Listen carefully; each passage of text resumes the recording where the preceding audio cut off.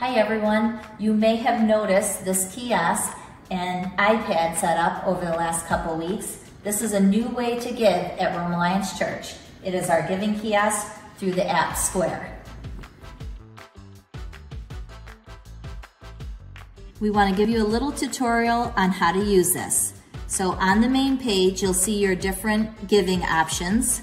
So you just tap the one that you want to give to. This is operating.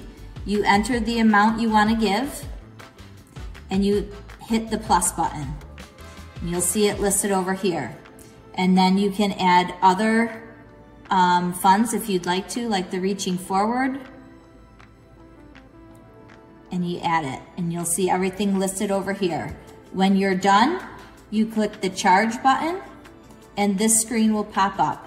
Here, you can pay with your phone, you can pay with a credit card by sliding it in here, or you can scan to pay with Cash App.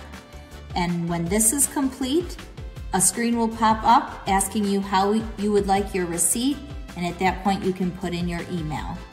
Another thing that we want to show you is um, the option to buy a book. So for the next sermon series that Pastor is doing, he is going to have a book uh, to go along with it, and you can purchase that through the Square by just hitting this, and you'll see that $5 is already put in there for you. That's the cost of the book, and you can buy it right through this. For the receipts for Square, these will not be on your year-end uh, receipt from the church, from Tithely. These receipts you can get through email and just keep them for your files.